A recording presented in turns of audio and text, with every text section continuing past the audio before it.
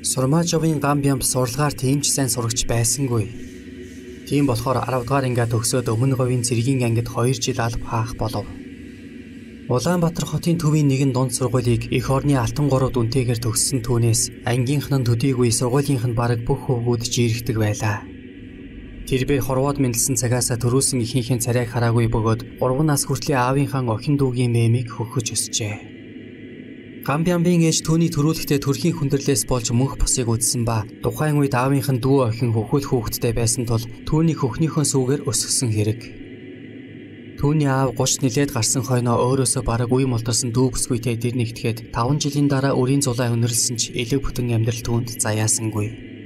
Хайртай эхнэр нь нэр нөхөр алаг үр хоёроо орхиод нөгөө ертөнцид оджээ. Өөрөө цэргийн хүн болохоор газар дээрх ганц хүү Гамбиамбига хатуу гараар өсгсөн байна. Өглөө ажилдаа явхдаа гам ямбад өдөр чухам юу хийх тухай зааварчилгаа өгнө. Хэрвээ орой ажлаа тараад ирэхэд нь өглөө өгсөн даалгаврыг нь биелүүлээгүй байвал зэрэг суран бүс бясхан хүүгийн нуруунд дээр бууна. Аав нь нилээд хатуу ширүүнийг нь төдийгүй үе үе найз нөхөдтэйгээ нийлэн дарвиж сархад цоглоод баггүй халамцахаараа гам ямбыг дуудаж өвөр дээрээ суулгаад толгойг нь хэлбэн "Хүү минь аав нь чамд бүх хүннийг ярьж өгье. Ээж чинь үнэхээр сайхан бүсгүй байсан юм. Ааваас нь 10 насаар дүү. Даанч би их муутай байсан байнга эмнэлгийн хяналтанд байдаг байлаа. Эмчнэр хүүхэд төрүүлэхийг нь хориглдог байсан ч ээж чинь чамаа гаргана гэж зүтгсээр төрхийн хүндлээс болж нас барсан юм. Энэ хорвоогоос нэг нь явж байхад нөгөө нэрдэг зам ёсоор хөөхий их чинь нас барахад чи над дээр ирсэн юм гэж өгүүлдэг байлаа. Гамбиам донд ангид сурч байхдаа ангийнхаа нэг хүүгүнтэй муудалцаж гар зөрүүлээд аргагүй эрхэнд дийлдэжээ. Болсон явдлын талаар орой аавыгаа ажлаас тараад ирэхэд нь ярихад тэр жаал дуугүй сууж байснаа. Одоо яа гэхвдэ Би ямар сургууль дээр ч н очоод тэр хүүхдийг зодолтой нь биш. Чи зодож чадаагүй юм чинь чиний л хог шүү дээ гэсэн ач.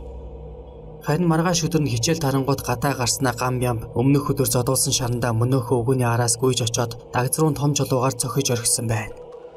Өөрт өдөр нь гам ямбыг зодсондоо ихэд барсан тэрхүү өгөөний хамаг хувцас нийлц усанд бодогджээ. Үүнээс болж гам ямбыг багш нарын зөвлөлийн хурлаар авч хэлэлцсэний эцэст арай сургуулиас хөөчихсөнгүй. Энэ хэрэг явдлын дараагаас ангийнх нь түүнээс ихэд дөөлөх болжээ. Ийхүү өдөр хоног өнгөрсөөр гам ямд нэг л мэтгэд 10 дугаар ангиа төгсөв. Дунд сургуулаа төгсөөд өмнө говьд 2 жил зэргийн алба хаасан тэрбээр халагдаж ирээд ангийнхан болон найз нөхдөөрөө дайж цайлуусаар бүтэн сар өнгөрсөн байна. Эцэс нь тэр Динжи мянгын зах дээр 8 ч найзуудынхаа барааг зарлцсан хэд гурван төгрөг олдог болжээ. Аав нь цэргийн хүн болохоор залуугаараа тэтгэврт гарсан аж. Найз нөхдийнхөө барааг зарлцаж овоо хідэн төгрөг цуглуулсан Гамбиамп сүүлдээ Бейдаан хятад Орос Польш улсуудын хооронд явж 8 хийх болов. Түүний эрхэж буй 8-аач нэлээд ашигтай байлаа. Энэ үед тэрбээр тунгалаг хэмээх ангаах ухааны дээд сургуулийн 2 дугаар дамжааны оюутан бүсгүйтэй танилцсан байна.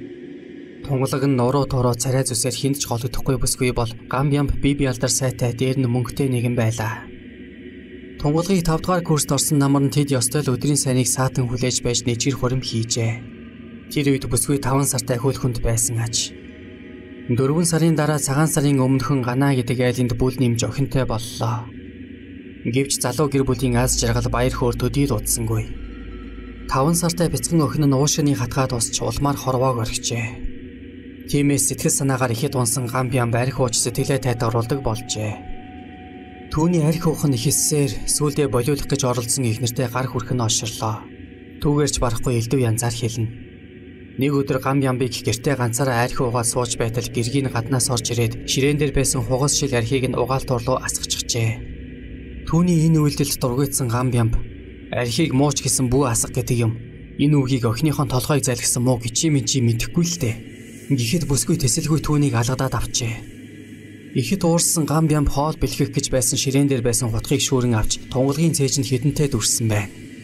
Ийхүү хэдэн сарын өмнө хурим найр хийж байсан залуу хосын нэг нь газар болуулж нөгөө нь амьдралынхаа бүхэл бүтэн 15 жилийг өргөстэй тооны цаана өнгөрүүлэх болсон юм. Чанга дэглэмтэй 20 ангид амьдралынхаа хайрын 15 жилийг өнгөрүүлсэн тэрбээр 42 наснда наранд гарчээ. Ирэх чөлөөтэй болсон түүнийг нарны хүн болоход угтах эцэг их хань ижил өөр хүүхэд байсангүй. Харин багын төдийгүй нэг ангийн найз ууган баярын түүнд таван хантай гэр авч өгөөд хайлаастад танилынхаа хашаанд буулгаснаар гам бямбын амьдрал шинээр эхлэв. Мөн ууган баяр нэг таньдынхаа барилгын компанид Гамбиамбыг мужааны ажилд оруулж өгсөн байна. Ингэснээр Гамбиан бодлогүй нэгэн бүсгүйтэй танилцсан дотнос чихэлжээ. Түүний нэрийг цагаан дээр гих бөгөөд эмнэлэг цэвлэгч хийдэг мань бүсгүй өвлийн нэгэн орой годомчинд ганцаараа явж байгаад булган малгайгаа хин нэгэнд шүүрүүлсэн ба Гамбиан бомнөөх шүүрэгчийн хойноос хөөнгүйцэд малгайг нь авч өгөн танилцжээ. Гэвч ирээдүйд өөрийг нь алах халуурчтай танилцж түүнийг суудаад явж байна хэмээн хөөрхий бүсгүй хэрхэн төсөөлөх билээ. Нэг өдөр Гамбиан хүнсний цахаас жаалжуулж хэр жимс авч гэртээ бяцхан ширээ засаад цагаан дэрийн ажил руу явсан байна. Арихтарс авхаач марцсангүй. Наригж зингих нэлээд дуртай сөвлөж бүсгүй түүний урилгыг тун дуртай хүлээн авчээ. Хоёр хос элдвийг хүүрнэн ганц 200 г татсаар баггүй халамцаад шууд л орондоо орцгоосон байна. Энэ өдрөөс эхлээд гам ямбих гэдэг айлаас цагаан дээр химээх сөвлөгч бүсгүй салхаа болжээ. Өргөст торны цаана амьдралынхаа бүхэл бүтэн 15 жилийг үдсэн тэрбээр мужааныхаа ажлыг орхиж гарын дүүтэй тул модоор элдв зүйл хийгээд зах дээр борлуулдаг болов.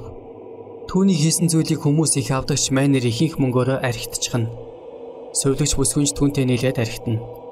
Ингээд архинд дуртай хоёр нөхөр нэг гэрт толгой холбох болсноор гам ямбих гэдэг аль архины үүр болж хувирсан байна.